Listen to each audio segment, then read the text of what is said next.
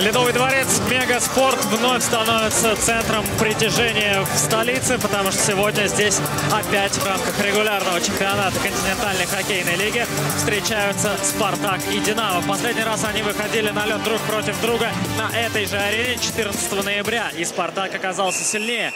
Сегодня эти команды уже не ведут э, борьбу за лидерство во всей лиге. Чуть вперед вышел Магнитогорский Металлург. Но вот поспорить за первое место на Западе можно и даже нужно. Почему сегодня Волку выбрали в рамки? Ну, а, потому что Белье дали отдохнуть немножко и поставили Волков. На самом деле, по плану так и шло у нас. На сегодняшнюю игру Волков должен был быть. Актионов, э, центр, один из центров сегодня в составе, уже полегче в каком-то смысле? Ну, конечно, полегче. То есть можно хоть вернуть сочетания, которые были до этого, до его травмы. Поэтому посмотрим. Надеюсь, это, конечно, большая помощь для нас в сегодняшнем матче.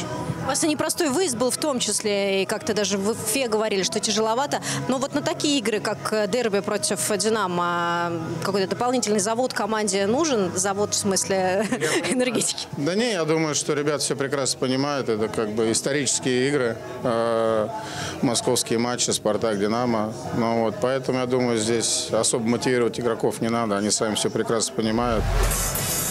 Илья Каблуков против Александра Бурмистрова на точке вбрасывания. Поехали. Каблуков приехал к борту вместе со своим оппонентом. И шайба уже у Динамо. Длинная передача. Проброса не будет. Отличная скорость у Ивана Муранова. Это гол! Первая шайба в матче есть. Прошло 36 секунд с момента стартового вбрасывания. Кажется, что вот эта трапеция, которая была введена несколько сезонов назад, она очень сильно мешает вратарям. Потому что вот тут вроде как бы казалось, ну, надо выходить из ворот. Втроем там спартаковцы в углу оказались. Локальное численное преимущество. Но дальше шанс прекраснейший у Влада Михайлова. И шайба оказывается под щитками вратаря. Вот этот момент у Динамо опять неожиданно возникает. Да там у Спартака момент у Пашина тоже был неожиданный. Там она раз на пятак выскочила, и динамовцы были не готовы. Тут, ну, в меньшей степени все-таки Вишневского догнали. Может быть, это первая результативная передача и поможет и шайбу в чужие ворота направить. А сейчас Егор Зайцев упускает прекраснейший шанс. Уже уложил вратаря вроде бы. Я думаю, что он в штангу попал. Цыплаков ставит корпус, подталкивает Поленков. Гусев взял паузу, и это дало возможность Спартаку навязать борьбу. Наброс, добивание, гол! Шайба оказывается в сетке, и забивает Максим Цыплаков. Как-то обращал внимание минут назад на то, что Спартак там коньками обрабатывал. Смотрите, сколько раз сейчас Спартак себе возвращал шайбу, которая, знаешь, ну, не шла идеально э, к игрокам. И в итоге выиграна борьба в углу, причем чуть ли вообще не самим Максимом Цыплаковым. 104 хита у Егора Зайцева. Петухов. Какой разворот и передача Каблукову. Опаснейший момент создает эта динамовская тройка. Ну, вот она, в принципе, только моменты и создает. Плюс щелчок Гусева и один раз, когда Миронов включался в атаку. Мне очень понравилось, как Петухов быстро сориентировался за воротами. Бросание динамовцы выигрывает. А вот дальше у Широканова шайба сходит и Порядин убегает. 1 в 0. Бросок Волков. Волков отбивает, а потом забирает эту шайбу себе. Отличный момент. С одной стороны, конечно, можно так говорить, вот она катится и перескакивает через э, клюшку Магомеда Широканова, ну или проезжает под ней. Но вы посмотрите, как Порядин, он сразу с обратным поехал вперед. Вместо Ильенко выскочил, с Петуховым и Михайловым поиграл. Момент создали, а теперь больше приходится обороняться. Порядин! Какой бросок! Какой гол! 2-1, Спартак впереди. Ну вот, к сожалению, да, у Динамо последних матчах прям вратари временами пропускают то, что, наверное, не должны. Хотя щелчок Порядина, безусловно, был очень сильным. Ну, знаешь, интересно, что только что Волков вытащил сложнейший выход, Ну, да. а здесь э, после дальнего броска шайба оказывается у него за спиной. Да, уже готов уже отправлять в прорыв своих партнеров. Артем Ильенко продавливает защитника Даниила Орлова. Клюшка даже вылетела из рук Андрея Кореева. Филин, брос в чужую зону. Смена идет у Спартака. Цыплаков берет паузу. Талалуев обратно Цыплакову. Цыплаков. Целый коридор ему открыли динамовцы. Но бросать не стал. Девятый номер. Отличная передача. Бросок и Волков опять выручает свою команду. А вот тут начнет быстро, интересно. Нет, смотри, Чайковский решил не отдавать Локтионову, но и тот так на смену поехал. Там удивительное дело, как вот этот бац Цыплакова прошел. Голдобин. Острый угол, бросок опаснейший и не хватило второго движения Спартаку. Правда, там еще и свисток прозвучал. Сергей Кулаков что-то объясняет сейчас игрокам. И у нас вторая рекламная пауза в матче.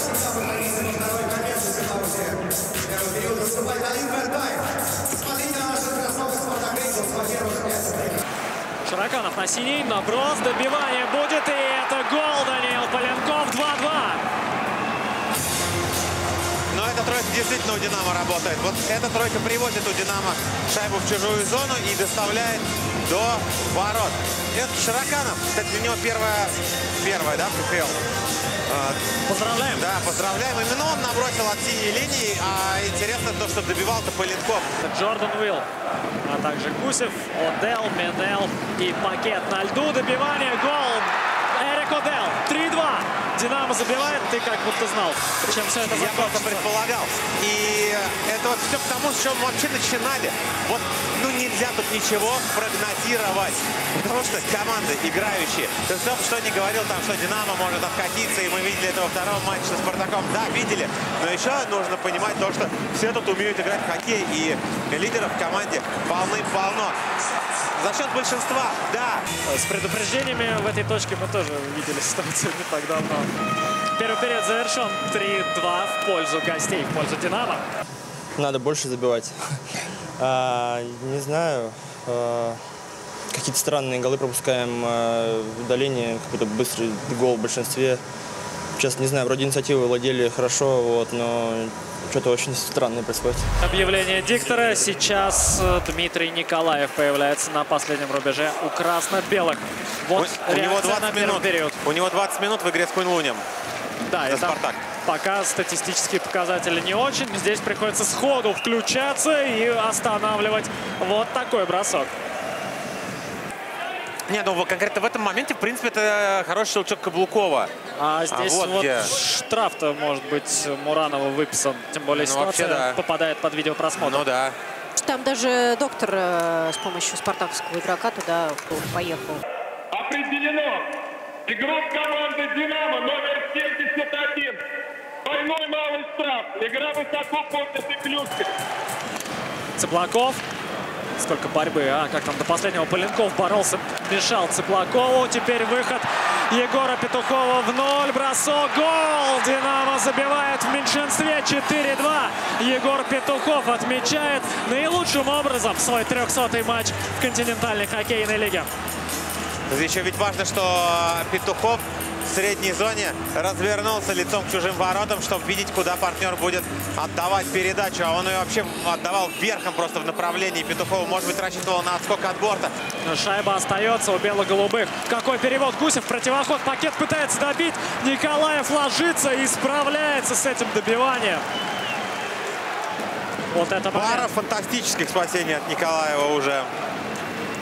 Джордан Уилл пересекает синюю линию. Короткая передача. Кудрявцев бросок. Накладывает свою клюшку Дмитрий Вишневский. Ажиганов. Дальний бросок. В коньки своему попал Игорь. Это был Ильенко. Он аж подпрыгнул, но шайба ушла далеко в сторону. Спартак в полном составе. Динамо продолжает атаковать. Отскок удачный для Динамо. Бросок. Гол! И это Егор Римашевский. Это его первая шайба в континентальной хоккейной лиге. И моментально партнер эту шайбу забирает со льда. Как же он вовремя туда приехал на пятачок. Ну, Динамо додавливало. Может быть, само большинство, знаешь, было ну, нормальным, а, без какого-то завершения там в касании. Но, тем не менее, давление на ворота Николаева было постоянным. Было постоянным. И Римашевский, он вообще, мне кажется, что чуть ли не со смены... Да, вон он поменялся, и вот он так с вершины накатывается и попадает. Ну, просто красавец. Спартак снова кружит по динамовской зоне. Пашин. Тут еще и смена проходит прямо по ходу атаки. Филин. Короткий пас. Пашин бросает. Гол! Какое попадание Александра Пашина. 3-5. Это ответ на твой вопрос, Виталий. Нужно ли Спартаку кнопку нажимать или что-то подобное? Спартак сегодня, пропуская даже дуплетом в э, там, не самых очевидных ситуациях, просто продолжает играть в хоккей. В принципе, то же самое можно и сказать и про «Динамо». Но какое давление. Ты правильно заметил про силовой Талалуева. Может, такое не самое частое явление. Но посмотри, началось все стройки Голдобина, Бурмистрова и Порядина. Момент у «Динамо», бросок, еще один гол. А вот и ответ со стороны бело-голубых. Что происходит у нас сегодня на Мегаспорте? Какой матч мы с вами наблюдаем? Там, конечно, о, это Удел был. Он просто съел Орлова. Спартак первую тройку выпускает. Сильная диагональ. И это, Это еще гол. один гол. Это 6-4. Ты знаешь, я просто смотрю сейчас по сторонам, все улыбаются. Тут вне зависимости от того, кто за кого болеет, кто за кого переживает, просто все все счастливы, по-моему. Тому, что, того, что тут 6-4, что 10 голов. Причем ты посмотри, какие голы-то. Спартак отвечает. Сколько прошло? 15 сек? Все время лезет в борьбу в самое пекло и доставляет шайбу на пятак. Шанс у Одела. Бросок прямо с пятака. Столкновение Миронова с Галимовым. И нарушение правил фиксируется. Удар, Удар коленом. коленом. Ну, в первый момент мне показалось, что это нормальный силовой прием. Атака Спартака 3 в 2. Передача в центр. Еще одна направо. Цыплаков смещается, бросает и попадает в самую девятку. Максим Цыплаков 5-6. Фантастика. Еще один дубль у Спартака. Если этот матч закончится со счетом 10-10, я думаю, что никто уже удивляться просто не будет. Нет, он закончится 11-10 Ну, в чью-либо в пользу. чью-либо пользу. Ну, основное время. Я не знаю, так, конечно, может выглядеть, ну, что я вот опять это говорю, но насколько же размашистая атака была у Спартака, а? Бурмистров. Какой розыгрыш? Бросок. Волков забирает шайбу себе после броска Ручкина. Здорово. 13-4 было. Ну, значит, 9,8 теперь. а, ну, ну давай так говорить, ладно, чтобы не считать в уме на всякий случай. И снова Бурмистров выцарапывает шайбу, но там чуть ли не в подкате футбольном играет Михайлов. Волков отбивает в угол. Готовец вперед по борту. Ну и, наверное, на этом программа второго периода у нас закончена. 6-5 в пользу «Динамо». Как и после первого периода в одну шайбу ведут бело-голубые.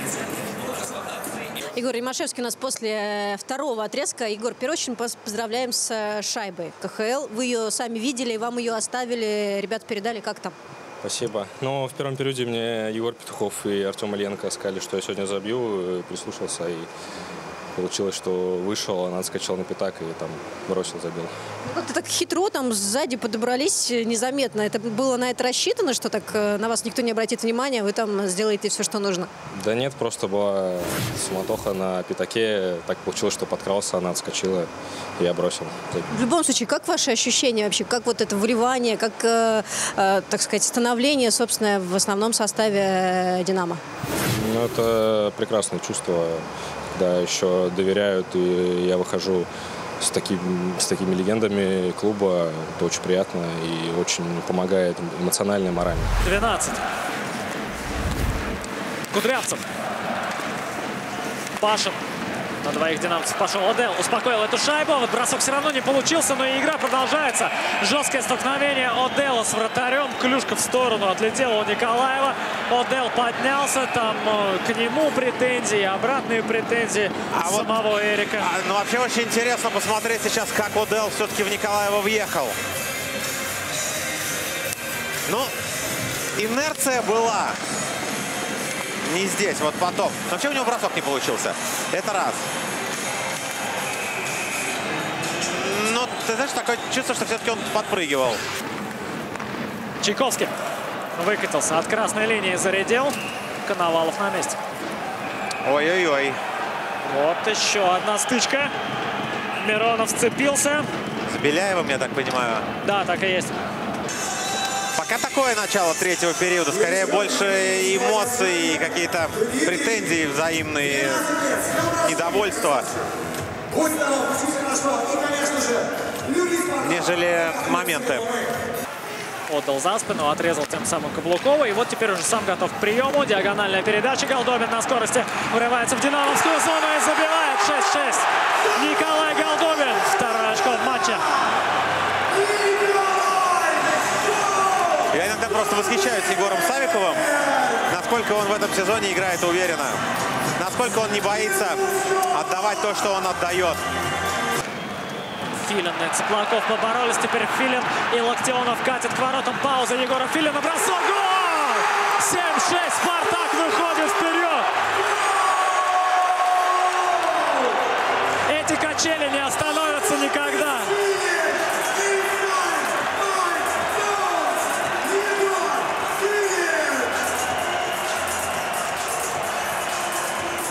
Вы понимаете, самое главное, что в этих голах это не чьи-то ошибки. Малышев взял небольшую паузу. Пас Готовцу. У Готовца проблемы. Теряется шайба. Поряден. Перевод. Шайба задевает сетку, но идет мимо. А ты видел, как он обыграл? Там вообще даже метра не было. Я про Порядина. Пашин Галимов, Ручкин и Рукавишников обороняются у Спартака. Дальний бросок Ожиганова, попытка добить и шайба не прижата. Эрик Одел, как же он добил, как же он успел. 7-7, еще одно большинство Динамо сегодня реализует. 7-7, мы не закончим сегодня ничего. Да и не надо. Потому что это просто концерт, который дают команды. И как быстро Удел сориентировался. А? И в падении, кстати, он в прыжке. Вот так, чтобы быстрее, чтобы Николаев не успел. Есть Филин, есть Пашин, но, в общем-то, и Вишневский может зарядить. Он сравнял в матче своим дальним броском. Динамовцы выводят игру в среднюю зону. Сирена нас ждет фон бэк овертайм. И только-только Беляев появился со скамейки. Вот теперь Галимов с Беляевым как раз катит. И едва не добил эту шайбу Александр. Теперь в обратку динамовцы. Вилл, слева Гусев. Вилл сам все делает, бросает щиток. Отбор у Спартака. Два в одного в обратную сторону покатили. Вишневский шайбой. По правую руку от него Галимов. Но есть еще и сзади Беляев. Еще одна передача. Пауза. Пауза. Ансель поехал в трапецию. Позиционная атака Спартака. Броска мы не увидели. Трибуны гонят Спартак вперед. О, вот эта смена. Галимов. Что это произошло? Сейчас в зоне Динамо. Пауза. Бросок. Гол! Гол! Гол! Гол! Гол! Гол! Гол! Спартак забирает этот матч. Фантастика!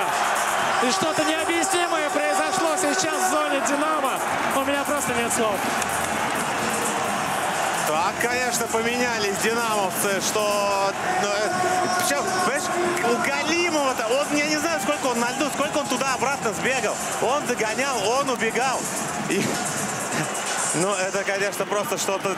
Ну, это просто невероятное. Это просто невероятное. А пауза да, перед, перед э, вратарем, а? От Филина. От Филина, от Беляева. Как он там, сколько он там стоял, сколько он раскачивал э, коновал. Миронов, уставший, продолжает играть, но не успевает э, накрыть этот бросок, а его партнер взял и поменялся. Да Еще оба, раз. оба, оба поехали меняться. Но Миронов вернулся, видишь, А, он вернулся, да. Забросил номер 98 Александр От штанги еще залетело. Статистика по сезону. Спартаковцы сейчас благодарят своих болельщиков, те отвечают им взаимностью. Но мы сегодня поддержку трибун слышали, слышали постоянно. И Герой фонбет овертайма КХЛ Александр Беляев. Саш, ну вы просто счастливчик. Вы то за доли секунды забрасываете и решаете матчи, то сегодня вот а, в таком тоже важном противостоянии помогли своей команде. Ну, блин, немножко обидно, что счастливчик. Мы работаем, каждый мог оказаться на моем месте. А, Я думаю, мы, за- мы заслуженно победили, мы терпели, мы где-то ошибались, но главное, мы не опускали руки. А это всегда вознаграждается, сами понимаете. Ну вот вы как бы раскачивали этот момент, я имею в виду момент э, гола. Это вот продуманно все-таки так было? Или просто ждали, что нужно дождаться и где-то своего паса, и где-то своего броска удачного? Ну, так, периферическим зрением увидел, что если я брошу, я не, я не забью. Вратарь хорошо играл. Попробовал раскачать, получилось, да. Спасибо Анселю. 99% это его гол, он показал, он вылез, отдал. Все здорово сделали. Всех с победой. Радует то, что команда верила. И радует то, что играли 60 минут. Как бы, как говорится, счет не складывался. Все пора, бывает по-разному складывается игра. Но молодчики как бы держали нить игры, и это самое главное. Поэтому давайте зацепимся за это. Еще раз говорю, сегодня было видно, что была команда. Все ошибаются, ребят, без этого не бывает. Ну вот. Но молодчики, как говорится, друг друга поддержали, выставили в конце там в меньшинстве. Ну вот, и в целом молодчики. Давайте, как говорится, зацепимся за эту победу и будем двигаться дальше. У нас еще осталась одна игра перед перерывом, поэтому давайте достойно.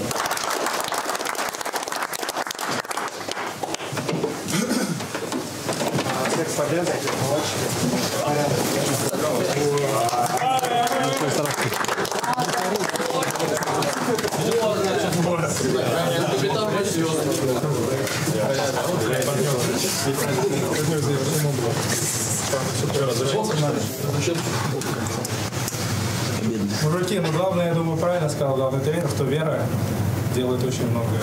Поэтому давайте верим друг друга и дальше идем вперед. Красавцы с победой!